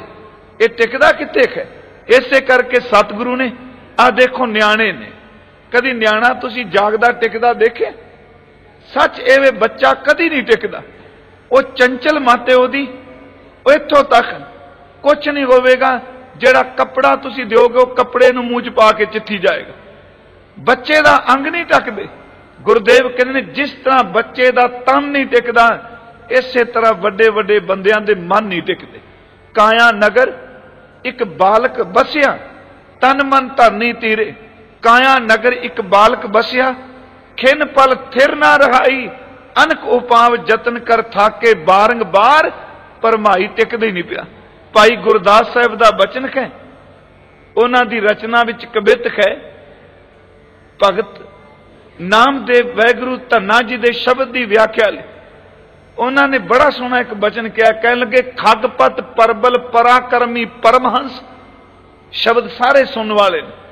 ਮਨ ਨਹੀਂ ਟਿਕਦਾ। ਖਗਪਤ, ਪਰਬਲ, ਪਰਾਕਰਮੀ ਪਰਮਹੰਸ ਚਾਤੁਰ, ਚਤੁਰਮੁਖ, ਚੰਚਲਾ ਚਪਲ ਹੈ ਖਗਪਤ ਖਗ ਦਾ ਅਰਥ ਪੰਛੀ, ਪਤ ਦਾ ਅਰਥ ਹੈ ਰਾਜਾ, ਪਤੀ। ਪੰਛੀਆਂ ਦਾ ਰਾਜਾ ਗਰੁੜ ਹੈ ਗਰੜ ਦੀ ਉਡਾਰੀ ਬਹੁਤ ਤੇਜ਼ ਹੈ ਪਰ ਭਾਈ ਸਾਹਿਬ ਕਹਿੰਦੇ ਨੇ, ਗਰੁੜ ਪੰਛੀ, ਤੇਰੀ ਉਡਾਰੀ ਵੀ ਮਨ ਦਾ ਮੁਕਾਬਲਾ ਨਹੀਂ ਕਰ ਸਕਦੀ। ਮਨ ਜਿੱਥੋਂ ਤੱਕ ਉਡਾਰੀਆਂ ਮਾਰਦਾ, ਉੱਥੇ ਤੱਕ ਗਰੁੜ ਪੰਛੀ ਵੀ ਨਹੀਂ ਪਹੁੰਚ ਸਕਦਾ। ਪਰਬਲ, ਪਰਾਕਰਮੀ ਸਿਆਣਾ ਬੜਾ ਹੈ ਐਡਾ ਸਿਆਣਾ ਹੈ ਆ ਜਿਹੜੀਆਂ ਸਹੂਲਤਾਂ ਸੀ ਵਰਤਨੇ ਪੈ ਲਾਈਟ ਜਗਾਈਏ ਕਿਸੇ ਦਾ ਮਨ ਸਿਆਣਾ ਬਣਿਆ ਤੇ ਲਾਈਟ ਪੈਦਾ ਕਰਕੇ ਚਲਾ ਗਿਆ ਇੰਨਾ ਸਿਆਣਾ ਹੈ ਇਹ ਮੁਰਦੇ ਬੰਦੇ ਨੂੰ ਵੀ ਜਵਾਨ ਦਾ ਯਤਨ ਕਰਦਾ ਹੈ ਪਰਬਲ ਪਰਾਕਰਮੀ ਪਰਮਹੰਸ ਚਤੁਰ ਚਲਾਕ ਬੜਾ ਚਤੁਰਮੁਖ ਚੌ ਮੂਆ ਹੈ ਚੰਚਲਾ ਚਪਲ ਹੈ ਸੱਚ ਇਹ ਵੇ ਕਿ ਬਿਜਲੀ ਜਿਹੜੀ ਅਸਮਾਨ ਵਿੱਚ ਚਮਕਦੀ ਏ, ਮਨ ਤਾਂ ਚਮਕਦੀ, ਕੋਈ ਬਿਜਲੀ ਨਾਲੋਂ ਵੀ ਜ਼ਿਆਦਾ ਚੰਚਲ ਹੈ। ਮੈਂ ਸਿਰ ਬੇਨਤੀ ਕਰਨੀ ਹੈ, ਤਨ ਮਨ ਧਨ ਨਹੀਂ ਧੀਰੇ। ਤੀਸਰਾ ਸ਼ਬਦ ਵਰਤਿਆ ਤਨ ਮਨ ਵੀ ਨਹੀਂ ਟਿਕਦਾ ਪਿਆ। ਧਨ ਨੇ ਇੱਕ ਦਿਨ, ਮਹਾਰਾਜ ਕਹਿੰਦੇ ਨੇ, ਇਹਨੇ ਵੀ ਕਿਹੜਾ ਟਿਕ ਜਾਣਾ ਹੈ? ਇੱਕ ਛੋਟੀ ਜੀ ਮੈਂ ਬੇਨਤੀ ਕਰਾਂਗਾ। ਦੇਖੋ, ਅੱਜ ਦਾ ਜਿਹੜਾ ਸਾਡਾ ਢਾਂਚਾ ਹੈ ਨਾ, ਇਹ ਘਰ ਘਰ ਦਾ ਦੁਖਾਂਤ ਹੈ। ਭਾਈ ਸਾਹਿਬ ਬੈਠੇ ਨੇ। ਅਸੀਂ ਲੋਕ ਨਿਕਲਿਆ ਗਰੀਬੀ ਵਿੱਚੋਂ ਤੇ ਸੰਘਰਸ਼ ਵਿੱਚੋਂ। ਇਹ ਸਚਾਈ ਹੈ। ਪਰ ਜਿਹੜੀਆਂ ਸਾਡੀਆਂ ਆਉਣ ਵਾਲੀਆਂ ਪੀੜ੍ਹੀਆਂ ਨੇ ਤੁਸੀਂ ਬੈਠੇ ਹੋ, ਪਤਾ ਨਹੀਂ ਕਿੰਨੀ ਮਿਹਨਤ ਮੁਸ਼ਕਲ ਮਜ਼ਦੂਰੀ ਕਰਕੇ ਘਰ ਬਣਾਉਂਦੇ ਹੋ। ਤੇ ਜਿਹੜਾ ਕੋਠੀ 'ਚ ਜੰਮਦਾ ਹੈ ਨਾ, ਉਹਨੂੰ ਕੋਈ ਪਤਾ ਨਹੀਂ ਪਿਓ ਦੇ ਢਾਰੇ ਦਾ ਤੇ ਪਿਓ ਦੀ ਚੌਂਪੜੀ ਦਾ। ਉਹਨੂੰ ਕੋਈ ਸਮਝ ਨਹੀਂ। ਉਹਨੂੰ ਅਹਿਸਾਸ ਹੀ ਨਹੀਂ। ਇਹੀ ਕਾਰਨ ਕਿ ਅੱਜ ਕੱਲ ਦੇ ਨੌਜਵਾਨ ਮੈਨੂੰ ਬਖਸ਼ ਦਿਆ ਜੇ। ਮਾਂ-ਬਾਪ ਘਰ 'ਚ ਨੇ। ਆਪਣਾ ਕਮਰਾ ਖੋਲਿਆ, ਬਾਹਰ ਦੇਖਣ ਨੂੰ ਮਿਲਦਾ ਭਾਈ ਸਾਹਿਬ ਜਾਂਦੇ। ਕਮਰਾ ਖੋਲਿਆ, ਕੰਪਿਊਟਰ ਔਨ ਕੀਤਾ, ਅੰਦਰੋਂ ਚਿਟਕਣੀ ਮਾਰ ਲਈ। ਉਹ ਪੁੱਛਦੀ, ਕੋਈ ਨਹੀਂ ਮਾਂ-ਬਾਪ ਨੂੰ ਤੁਸੀਂ ਕੁਝ ਖਾਏ ਵੀ ਹੋ ਕੇ ਨਹੀਂ ਇਹ ਸਚਾਈ ਹੈ। ਤੇ ਜਿਹੜਾ ਬੀਠਲ ਸ਼ਬਦ ਗੁਰੂ ਗ੍ਰੰਥ ਸਾਹਿਬ ਵਿੱਚੋਂ ਆਇਆ, ਇਹ ਕਿੱਥੋਂ ਆਇਆ ਹੈ? ਬੀਠਲ ਦਾ ਅਰਥ ਹੁੰਦਾ, ਬੈਠ ਜਾ। ਕਹਿੰਦੇ ਨੇ, ਇੱਕ ਭਗਤ ਮਾਂ ਦੇ ਚਰਨਾਂ ਦੀ ਰੋਜ਼ ਸੇਵਾ ਕਰਦਾ ਸੀ। ਤੇ ਰੋਜ਼ ਪ੍ਰਮਾਤਮਾ ਦੀ ਭਗਤੀ, ਉਹਦੇ ਦਰਸ਼ਨਾਂ ਦੀ ਸਿੱਖ ਰੱਖਣੀ। ਇੱਕ ਦਿਨ ਨੇਮ ਨਾਲ ਮਾਂ ਦੇ ਚਰਨ ਕੁੱਟਣ ਲੱਗਾ। ਕਹਿੰਦੇ ਨੇ, ਭਗਵਾਨ ਪ੍ਰਗਟ ਹੋਏ। ਤੇ ਉਹਨੇ ਇੱਕੋ ਗੱਲ ਕਹੀ, ਬੀਠੁਲ, ਆ ਇੱਟ ਉੱਤੇ ਬੈਠ ਜਾ, ਕਿਉਂਕਿ ਮੈਂ ਜੇ ਮਾਂ ਦੇ ਚਰਨਾਂ ਦੀ ਸੇਵਾ ਕਰ ਰਿਹਾ ਦੇਖੋ, ਇੱਕ ਬੜੀ ਵੱਡੀ ਖੇਡ ਸੀ। ਮੈਂ ਸਿਰ ਬੇਨਤੀ ਕਰਾਂ ਕਿ ਤਨ ਵੀ ਟਿਕਣਾ ਨਹੀਂ, ਮਨ ਵੀ ਟਿਕਣਾ ਨਹੀਂ, ਤੇ ਮੰਨਾ ਜੋ ਕੁਝ ਇਕੱਠਾ ਕਰੀ ਜਾਂਦਾ ਇਹਨਾਂ ਕਿਹੜੇ ਟਿਕੇ ਰਹਿਣਾ ਹੈ? ਕਿ ਧਨ ਸਦੀਵ ਕਾਲ ਲਿਖੇ ਇੱਥੋਂ ਤੱਕ ਗੁਰੂ ਗ੍ਰੰਥ ਸਾਹਿਬ ਵਿੱਚ ਇੱਕ ਤੁਕ ਹੈ। ਆ ਜਦੋਂ ਭਾਦੋਂ ਚ ਬੱਦਲ ਵਰਸਦਾ ਹੈ ਨਾ, ਤੇ ਉਦੋਂ ਬਾਅਦ ਸੂਰਜ ਨਿਕਲਦਾ ਹੈ। ਤੇ ਜਦੋਂ ਸੂਰਜ ਨਿਕਲਦਾ, ਉਹਦੀਆਂ ਕਿਰਨਾਂ ਚਮੜੀ ਨੂੰ ਇਸ ਤਰ੍ਹਾਂ ਤੰਗ ਦੁੱਖ ਦਿੰਦੀਆਂ ਨੇ ਜਿਵੇਂ ਸੋਲਾਂ ਚੁੱਭਦੀਆਂ ਹੋਣ। ਤੇ ਸਿਰ ਤੇ ਬੱਦਲ ਆ ਜਾਏ, ਤੇ ਅਸੀਂ ਕਹਿੰਦੇ ਆ ਵਾਹ ਵਾਹ ਠੰਡ ਪੈ ਗਈ। ਭਗਤ ਗੁਰੂ ਗ੍ਰੰਥ ਸਾਹਿਬ ਜੀ ਕਹਿੰਦੇ ਨੇ, ਭਲੇ ਲੋਕੋ ਜਿਹੜੀ ਬੱਦਲ ਦੀ ਛਾਂ ਅੱਜ ਤੇਰੇ ਸਿਰ ਤੇ ਆਈ ਏ, ਚੇਤੇ ਰੱਖੀਏ ਦਾ ਭਰੋਸਾ ਨਾ ਕਰੀਏ, ਕਈਆਂ ਦੇ ਸਿਰ ਤੋਂ ਲੰਘ ਕੇ ਆਈ ਹੈ। ਕਿ ਬੱਦਲ ਦੀ ਛਾਂ ਟਿਕੀ ਰਹੇਗੀ? ਸੱਚ ਐਵੇਂ ਕਿ ਆ ਸਿਆਲ ਦੀਆਂ ਰਾਤਾਂ ਨੇ ਬਾਹਰ ਕਾਗਜ਼ ਕੋਈ ਬਾਲ ਕੇ ਸੇਕੇ ਕੱਖ ਬਾਲ ਕੇ ਸੇਕੇ, ਕਿੰਨੀ ਕੁ ਦੇਰ ਤੱਕ ਕੱਖ ਰਾਤ ਚੱਲਣਗੇ? ਕੱਖ ਸਵਾਹ ਹੁੰਦਿਆਂ ਦੇਰੀ ਨਹੀਂ ਲੱਗਦੀ, ਬੱਦਲਾਂ ਦੀ ਛਾਂ ਉੱਡਦਿਆਂ ਦੇਰੀ ਨਹੀਂ ਲੱਗਦੀ ਖੜਾਂ ਦਾ ਪਾਣੀ ਉੱਚੇ ਖੇਤਾਂ ਵਿੱਚ ਚੜ ਜਾਏ ਤੇ ਮਤ ਸੋਚ ਕੇ ਪਾਣੀ ਦੀ ਲੋੜ ਨਹੀਂ। ਹੜ ਦੇ ਦਰਿਆ ਚੜਦੇ ਵੀ ਬੜੀ ਛੇਤੀ ਨੇ ਤੇ ਉਤਰਦੇ ਵੀ ਬੜੀ ਛੇਤੀ ਨੇ। ਇਹ ਮਾਇਆ ਦੀ ਕਹਾਣੀ ਤਾਂ ਬਦਲਾਂ ਦੀ ਛਾਂ ਹੈ ਜਿਹੜੀ ਅੱਜ ਤੇਰੇ ਸਿਰ ਉੱਤੇ ਠੰਡ ਪਈ ਦਿੰਦੀ ਹੈ ਕਈਆਂ ਦੀ ਤਜੋਰੀ ਵਿੱਚੋਂ ਪਹਿਲਾਂ ਨਿਕਲ ਕੇ ਆਈ। ਸਦਾ ਲਈ ਨਹੀਂ। ਇਹ ਅੱਖਾਂ ਦੀ ਅੱਗ ਹੈ। ਤਾਂ ਹੀ ਸਤਿਗੁਰੂ ਨੇ ਬਾਣੀ ਵਿੱਚ ਕਿਹਾ, ਮਾਈ, ਮਾਇਆ, ਛਲ, ਤ੍ਰਿਣ ਕੀ ਅਗਨ ਮੇਘ ਕੀ ਛਾਇਆ? ਗੋਬਿੰਦ ਭਜਨ ਮਿਲ ਖੜ ਕਾ ਜਲ। ਇੱਕ ਸ਼ਬਦ ਗੁਰੂ ਗ੍ਰੰਥ ਸਾਹਿਬ ਵਿੱਚ ਆਉਂਦਾ ਹੈ, ਤਨ ਮਨ ਧਾਨੀ ਤੀਰੇ, ਮੈਂ ਪ੍ਰਕਰਨ ਤੋਂ ਦੂਰ ਨਹੀਂ ਜਾ ਰਿਹਾ, ਮੈਂ ਸਿਰਫ ਭਗਤ ਜੀ ਦਾ ਸ਼ਬਦ ਲਿਆ ਹੈ। ਉਹ ਸ਼ਬਦ ਕਹੇ ਜੋ ਮਦ ਮਾਖੀ, ਤਿਉ ਸਠੋਰ ਰਸ, ਜੋਰ ਜੋਰ ਧਨ ਕੀਆ। ਜਿਵੇਂ ਸ਼ਹਿਦ ਦੀ ਮੱਖੀ, ਇੱਕ ਇੱਕ ਫੁੱਲ ਤੇ ਬੈਠ ਕੇ ਧਨ ਉਹ ਮਕਰੰਦ ਚੂਸਦੀ ਏ ਤੇ ਨਾਲ ਕਹਿੰਦੀ ਏ ਅੱਜ ਨਹੀਂ ਛਕਣਾ। ਜਦੋਂ ਛੱਤਾਂ ਪੂਰਨ ਤੌਰ ਤੇ ਭਰ ਜਾਏਗਾ, ਮੈਂ ਉਦੋਂ ਇਹਦਾ ਰਸ ਮਾਣਾਂਗੀ। ਗੁਰੂ ਗ੍ਰੰਥ ਸਾਹਿਬ ਵਿੱਚ ਕਬੀਰ ਜੀ ਕਹਿੰਦੇ, ਉਹ ਭੋਲੀਏ ਮੱਖੀਏ, ਤੂੰ ਸਿਰਫ ਆਪਣੀ ਸੰਘਰਸ਼ ਕਰ, ਤੂੰ ਮਿਹਨਤ ਕਰ ਕਰਕੇ ਫੁੱਲਾਂ ਉੱਤੋਂ ਮਕਰੰਦ ਚੂਸ, ਚੇਤੇ ਰੱਖੀ ਜਿੱਦਨ ਤੇਰਾ ਸ਼ਹਿਦ ਪਕਣਾ ਹੈ, ਤੈਨੂੰ ਖਾਣਾ ਨਸੀਬ ਨਹੀਂ ਹੋਣਾ, ਤੇਰੇ ਮੂੰਹ ਦੇ ਵਿੱਚ ਸਵਾਹ ਪਾਣਗੇ, ਤੇ ਨਿਚੋੜ ਕੇ ਸ਼ਾਇਦ ਕਿਸੇ ਹੋਰ ਨੇ ਲੈ ਜਾਣਾ ਸੱਚ ਇਹ ਵੇ ਸਾਡੇ ਘਰਾਂ 'ਚ ਇਹੀ ਹੁੰਦਾ ਮਾਪੇ ਵਿਚਾਰੇ ਸ਼ਹਿਦ ਦੀ ਮੱਖੀ ਦੀ ਤਰ੍ਹਾਂ ਇਕੱਠੇ ਕਰਦੇ ਰਹਿੰਦੇ ਨੇ। ਤੇ ਜਦੋਂ ਸੁੱਖ ਦਾ ਵੇਲਾ ਹੁੰਦਾ, ਉਹ ਪੁੱਤ ਪੋਤੇ ਮੋਟਰਸਾਈਕਲਾਂ ਲੈ ਕੇ ਸਭ ਕੋਈ ਨਿਚੋੜ ਕੇ ਘਰੋਂ ਬਾਹਰ ਲੈ ਜਾਂਦੇ ਇਹਨੂੰ ਮਹਿਸੂਸ ਨਾ ਕਰਿਓ ਸਚਾਈ ਹੈ। ਬਾਬਾ ਜੀ ਨੇ ਕਿਹਾ, ਜੋ ਮਦਮਾਖੀ ਤਿਉ ਸਠੋਰ ਰਸ, ਜੋਰ ਜੋਰ ਧਨ ਕੀਆ, ਮਰਤੀ ਬਾਰ ਲਿਓ ਲਿਓ ਕਰੀਏ ਭੂਤ ਰਹਿਣ ਕਿਉ ਦੀਆ? ਇੱਕ ਸਤਿਗੁਰੂ ਦਾ ਅੰਮ੍ਰਿਤ ਬਚਨ ਹੈ। ਗੁਰੂ ਗ੍ਰੰਥ ਸਾਹਿਬ ਦੀ ਪਵਿੱਤਰ ਬਾਣੀ ਵਿੱਚ। ਮੈਂ ਤਾਂ ਤੁਕ ਲਈ ਭਗਤ ਜੀ ਨੇ ਪਹਿਲੀ ਤੋਂ ਗੁਰੂ ਗ੍ਰੰਥ ਸਾਹਿਬ 'ਚ ਕਹੀ, ਤਨ ਵੀ ਥਿਰ ਨਹੀਂ, ਮਨ ਵੀ ਥਿਰ ਨਹੀਂ, ਤੇ ਧਨ ਜਿਹਨੂੰ ਤੂੰ ਕਹਿੰਦਾ ਇਹ ਕਿਹੜਾ ਥਿਰ ਹੈ? ਸਤਿਗੁਰੂ ਦੇ ਅੰਮ੍ਰਿਤ ਬਚਨਾਂ ਵਿੱਚ ਇੱਕ ਪਵਿੱਤਰ ਸ਼ਲੋਕ ਹੈ ਕਬੀਰ ਸਾਹਿਬ ਜੀ ਦਾ। ਉਹ ਸ਼ਲੋਕ ਹੈ, ਕਬੀਰ ਕੌਡੀ ਕੌਡੀ ਜੋਰ ਕੈ, ਜੋਰੇ ਲੱਖ ਕਰੋੜ, ਚਲਤੀ ਬਾਰ ਨਾ ਕੱਚ ਮਿਲਿਓ ਲਈ ਲੰਗੋਟੀ, ਤੋਰ ਲੰਗੋਟੀ ਦਾ ਅਰਥ ਵਾਂਸਲੀ ਭਗਤ ਜੀ ਨੇ ਤਿੰਨ ਗੱਲਾਂ ਪਹਿਲੀ ਤੁਕ ਵਿੱਚ ਕਹੀਆਂ ਤੇ ਅੱਗੇ ਮੈਂ ਦੋ ਸ਼ਬਦ ਤੁਹਾਨੂੰ ਹੋਰ ਸੁਣਾਣੇ ਚਾਹਨਾ ਇੱਕ ਤਾਂ ਸੁਣਾ ਦਿੱਤਾ, ਗੋਬਿੰਦ ਗੋਬਿੰਦ ਗੋਬਿੰਦ ਸਿੰਘ, ਨਾਮ ਦਿਓ ਮਨ ਲੀਣਾ ਦੂਜਾ ਸ਼ਬਦ ਹੈ ਭਗਤ ਧੰਨਾ ਜੀ ਦੀ ਆਸਥਾ। ਤੇ ਤੀਸਰਾ ਸ਼ਬਦ ਹੈ ਗੱਲ ਧਿਆਨ ਨਾਲ ਸੁਣਿਓ। ਲੱਗੇਗਾ ਇੰਜ ਕਿ ਸ਼ਬਦ ਇੱਕ ਦੂਜੇ ਦੇ ਵਿਪਰੀਤ ਨੇ। ਪਰ ਥੋੜਾ ਜਿਹਾ ਸਮਝਣ ਦਾ ਤਰੀਕਾ ਜਿਹਾ ਵਿਪਰੀਤ ਨਹੀਂ। ਪਹਿਲਾਂ ਉਹਨਾਂ ਦੀ ਪ੍ਰਮਾਤਮਾ ਪ੍ਰਤੀ ਆਸਥਾ ਦੇਖੋ। ਕਹਿੰਦੇ ਨੇ, ਉਹ ਭਰਮਣ ਵਾਲੇ ਚਿੱਤ ਤੂੰ ਭਰਮ ਨਾ। ਤੂੰ ਚਿੰਤਾ ਨਾ ਕਰ। ਪਰਮਾਤਮਾ ਤੈਨੂੰ ਰੋਜ਼ੀ ਦੇਵੇਗਾ। ਕਹਿੰਦੇ ਨੇ, ਜਿਸ ਦਿਨ ਮਾਂ ਦੇ ਪੇਟ ਦੇ ਪਾਣੀ ਵਿੱਚ ਦੇਖੋ, ਮੈਂ ਅਰਥ ਕਰ ਰਿਹਾ ਨੂੰ ਧਿਆਨ ਨਾਲ ਸੁਣਿਓ। ਜਿਸ ਦਿਨ ਮਾਂ ਦੇ ਉਦਰ ਦੇ ਪਾਣੀ ਵਿੱਚ ਤੂੰ ਪੁੱਠਾ ਲਟਕਿਆ, ਤੇਰੇ ਚਾਰ ਚਫੇਰੇ ਤਪਸ਼ ਅੱਗ ਸੀ। ਜੇ ਪਰਮਾਤਮਾ ਨੇ ਮਾਂ ਦੇ ਪੇਟ ਦੀ ਪੱਟ ਵਿੱਚ ਵੀ ਤੈਨੂੰ ਰੋਜ਼ੀ ਦੇ ਦਿੱਤੀ ਤੂੰ ਚਿੰਤਾ ਕਿਉਂ ਕਰਨਾ ਪਰਮਾਤਮਾ ਤੈਨੂੰ ਸਾਰੀ ਜ਼ਿੰਦਗੀ ਰੋਟੀ ਦੇਗਾ ਪਰ ਆਪਣੀ ਲੋੜ ਪਈ ਕਹਿਣ ਲੱਗੇ, ਗੋਪਾਲ, ਤੇਰਾ ਆਰਤਾ। ਜੋ ਜਨ ਤੁਮਰੀ ਭਗਤ ਕਰਨ ਤੇ ਤਿਨ ਕੇ ਕਾਸ਼ ਸਵਾਰਤਾ। ਮੈਂ ਤਾਂ ਕਿਹਾ ਵੀ ਕਿਤੇ ਵਿਪਰੀਤ ਆ ਨਹੀਂ। ਪਹਿਲਾ ਸ਼ਬਦ ਹੈ ਰਾਗ ਆਸਾ ਵਿੱਚ, ਰੇ ਚਿਤ ਚੇਤਸ ਕੀਨੀ ਦਇਆਲ ਦਮੋਦਰ। ਉਹ ਮੇਰੇ ਚਿੱਤ, ਤੂੰ ਦਿਆਲੂ ਪਰਮਾਤਮਾ ਨੂੰ ਕਿਉਂ ਨਹੀਂ ਚੇਤੇ ਕਰਦਾ? ਮੈਂ, ਉਧਰ ਤੇ ਉਦਕ ਦੋ ਸ਼ਬਦ ਨੇ, ਕਿਉਂਕਿ ਪਾਣੀ ਵਿੱਚ ਤਾਂ ਪਨਪਦਾ ਹੈ ਜੀਵ। ਜਨਨੀ ਕੇਰੇ ਉਧਰ ਉਦਕ ਮੈਂ ਪਿੰਡ ਕੀਆ ਦਸ ਦੁਆਰਾ। ਆ 10 ਦਰਵਾਜ਼ਿਆਂ ਵਾਲਾ ਰੱਬ ਨੇ ਸ਼ਹਿਰ ਬਣਾ ਦਿੱਤਾ, ਪਿੰਡ ਬਣਾ ਦਿੱਤਾ। ਦੇ ਆਹਾਰ, ਅਗਨ ਮੈਂ ਰਾਖਾਂ, ਐਸਾ ਖਸਮ ਹਮਾਰਾ। ਦੇਖੋ ਇੱਕ ਹਲ ਵਾਣ ਵਾਲੇ ਦਾ ਭਰੋਸਾ ਰੱਬ ਤੇ ਕਿੰਨਾ। ਭਾਈ ਇੰਦਰਜੀਤ ਸਿੰਘ ਹੁਣੀ ਨਾਲ ਸਨ, ਅਸੀਂ ਦੂਰ ਤੱਕ ਦੇਖਣ ਗਏ। ਸਰੋਂ ਸੀ ਉਦੋਂ। ਮੈਂ ਕਈ ਵਾਰੀ ਸੋਚਦਾ ਸਾਂ ਕਿ ਆਪਾਂ ਤਾਂ ਸਿਰਫ ਕਮਰੀ ਬਣਾਉਂਦੇ ਰਹਿ ਗਏ। ਪੂਜਾ ਰੂਮ ਬਣਾ ਲਿਆ, ਬਾਬਾ ਜੀ ਦਾ ਕਮਰਾ ਬਣ ਗਿਆ। ਮੈਂ ਕਹਿੰਦਾ ਜਿਹਨੇ ਰੱਬ ਨੂੰ ਪਾਣਾ ਸੀ ਉਹ ਉਹ ਮਾਰੂ ਥਲ ਵਿੱਚ ਬੈਠਾ, ਕੂਕੀ ਗਿਆ। ਲੋਕ ਮੰਦਰਾਂ ਵਿੱਚ ਪੱਥਰ ਪੂਜਦੇ ਰਹੇ, ਰੱਬ ਖੂਹ ਤੇ ਬੈਠਾ ਹੋਇਆ ਪਾ ਕੇ ਚਲਾ ਗਿਆ। ਅੱਜ ਕੱਲ ਕਈ ਵਾਰੀ ਸਿਆਣੇ ਸੁਣਾਉਂਦੇ ਵੀ ਨਹੀਂ ਜੋਕ ਵੀ ਜਿੱਥੋਂ ਦੇ ਐਡਰੈਸ ਦਿੱਤੇ ਹੁੰਦੇ ਨੇ, ਉੱਥੇ ਬੈਠਾ ਕੋਈ ਨਹੀਂ ਜੇ। ਬੈਠਾ ਕਿਸੇ ਹੋਰ ਤਾਂ, ਬੁੱਲੇ ਨੇ ਕਿਹਾ ਸੀ, ਬੁੱਲਿਆ, ਠਾਕਰ ਦੁਆਰੇ ਨਾ ਜਾਈ, ਇਹਨੂੰ 네ਗੇਟਿਵ ਨਾ ਲਿਆ ਜੇ। ਜਿੱਥੇ ਮੋਮਨ ਭੋਗ ਲਵਾਏ ਵਿੱਚ ਮਸੀਂਦੀ ਪੈਂਦੇ ਧੱਕੇ ਮੁੱਲਾ ਤਿਉੜੀ ਪਾਏ ਐਡਰੈਸ ਤਾਂ ਹੀ ਹੈ ਨਾ, ਰੱਬ ਰਹਿੰਦਾ ਪਿਆ, ਮੰਦਰ, ਗੁਰਦੁਆਰਾ ਭਾਈ ਸਾਹਿਬ ਜ਼ਿਕਰ ਕਰ ਰਹੇ ਸਾਂ। ਆ ਸ਼ਬਦ ਉਹਨਾਂ ਨੇ ਬੜਾ ਵਰਤਿਆ, ਮੈਂ ਨਹੀਂ ਉਹ ਵਰਤਣਾ। ਉਹ ਸ਼ਬਦ ਸੇ ਬੁੱਲਾ ਕਹਿੰਦਾ ਹੈ ਕਿ ਠਾਕਰ ਦੁਆਰੇ ਨਾ ਜਾਈ ਜਿੱਥੇ ਮੋਮਨ ਭੋਗ ਲਵਾਏ, ਵਿੱਚ ਮਸੀਤੀ ਪੈਂਦੇ ਧੱਕੇ ਮੁੱਲਾ ਤਿਉੜੀ ਪਾਏ ਅਮੀਰ ਜਾਦਿਆਂ ਨੇ ਬੂਵੇ ਉੱਤੇ ਚੋਬਦਾਰ ਬਹਾਏ। ਕਹਿਣ ਲੱਗੇ ਬੁੱਲਿਆ ਮਲ ਦਰਵਾਜ਼ਾ ਰੱਬ ਸੱਚੇ ਦਾ ਜਿੱਥੋਂ ਦਿਲ ਦਾ ਫਿਕਰ ਮਿਟ ਜਾਏ। ਉਹ ਰੱਬ ਦਾ ਦਰਵਾਜ਼ਾ ਕੀ ਹੈ? ਕਿਹੜਾ ਦਰ ਹੈ ਉਹਦਾ? ਬਾਹਰ ਦੇ ਪੂਜਾ ਸਥਲ ਬੰਦ ਕੀਤੇ ਜਾਂਦੇ ਨੇ, ਜਿਹਦੇ ਅੰਦਰ ਰੱਬ ਦੇ ਬੂਵੇ ਖੁੱਲ ਜਾਣ, ਉਹ ਬਾਹਰ ਦੇ ਮੰਦਰ ਵੀ ਕਮਾ ਕੇ ਆ ਜਾਂਦੇ ਨਾਮਦੇਵ ਜੀ ਨੇ ਕੀ ਕੀਤਾ? ਪੱਥਰ ਦੇ ਮੰਦਰ ਚੋਂ ਧੱਕੇ ਮਾਰੇ, ਪਰ ਦਿਲ ਮੰਦਰ ਵਿੱਚੋਂ ਠਾਕੁਰ ਨੂੰ ਕੌਣ ਕੱਢੇਗਾ?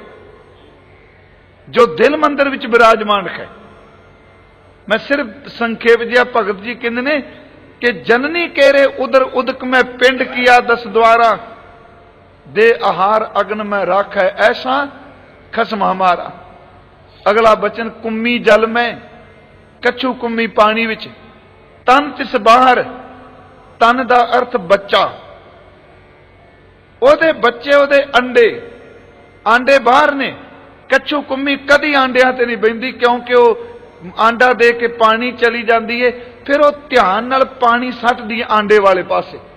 ਇਹਨੂੰ ਭਾਈ ਗੁਰਦਾਸ ਸਾਹਿਬ ਨੇ ਲਿਖਿਆ ਕੱਚੂ ਆਂਡਾ ਧਿਆਨ ਤਰ ਕਰ, ਪਰ ਪੱਕ ਨਦੀ ਵਿੱਚ ਆਣਾ ਉਹ ਆਂਡੇ ਦਾ ਧਿਆਨ ਟਿਕਾਉਂਦੀ ਉਹਦੇ ਧਿਆਨ ਨਾਲ ਆਂਡੇ ਵਿੱਚ ਉਹਦਾ ਬੱਚਾ ਵਿਕਾਸ ਕਰਦਾ ਧਿਆਨ ਨਾਲ ਆਂਡਾ ਤੋੜਦੀ ਏ ਤੇ ਧਿਆਨ ਨਾਲ ਮਾਂ ਬੱਚੇ ਨੂੰ ਆਪਣੇ ਕੋਲ ਲੈ ਆਉਂਦੀ ਏ।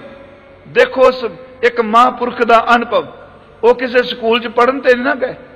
ਤੇ ਅੱਜ ਸੱਚੀ ਗੱਲ ਇਹ ਜੇ, ਜੇਤਾ ਪੜਿਆ ਤੇਤਾ ਕੜਿਆ ਮਹਾਰਾਜ ਜੀ ਨੇ ਕਿਹਾ, ਕਹਿੰਦੇ ਕਈ ਵਾਰੀ ਗੁਰਮਤ ਸਾਚੀ, ਖੁਜਤ ਦੂਰ, ਬਹੁਤ ਸਿਆਣਪ ਲੱਗਾ ਧੂਰ। ਇਹ ਗੱਲ ਯਾਦ ਰੱਖਿਓ, ਪ੍ਰੇਮਾ ਭਗਤੀ ਨਾਲ ਤੇ ਪਾਇਆ ਜਾ ਸਕਦਾ ਹੈ। ਪਰ ਗੁਰੂ ਗ੍ਰੰਥ ਸਾਹਿਬ ਦੀ ਸਾਰੀ ਬਾਣੀ 'ਚ ਕੋਈ ਤੁਕ ਦਿਖਾ ਦਿਓ ਜਿੱਥੇ ਕਿਹਾ ਹੋਵੇ ਸਿਆਣਾ ਬਣ ਰੱਬ ਤੈਨੂੰ ਸਿਆਣਪ ਨਾਲ ਮਿਲੇਗਾ ਪਹਿਲੀ ਪੌੜੀ 'ਚ ਕਹਿ ਦਿੱਤਾ ਸਹਿਸ ਸਿਆਣਪਾ ਲੱਖ ਹੋਵੇ ਤਾਂ ਇੱਕ ਨਾ ਚੱਲੇ ਨਾਲ ਨਾ ਤੂੰ ਆਵੇਂ ਵਸ ਕਿਤੇ ਸਿਆਣਪ ਹੈ ਮਹਾਰਾਜ ਤੇ ਇਤੋਂ ਤੱਕ ਕਿ ਜਿੰਨਾ ਸਿਆਣਾ ਬਣਨਾ ਰੱਬ ਉਨੀ ਕੋ ਹੋਰ ਰੱਸੀ ਤੇਰੀ ਬਣਾ ਦਿੰਦਾ ਤੇਰੇ ਗਲ 'ਚ ਫਾਈ ਪਾਣ ਲਈ ਬਹੁਤ ਸਿਆਣਪ ਜਮਕਾ ਭਉ ਵਿਆਪ ਹੈ ਸਿਆਣਪ ਨਹੀਂ ਅੰਦਰ ਦੀ ਭਾਵਨਾ।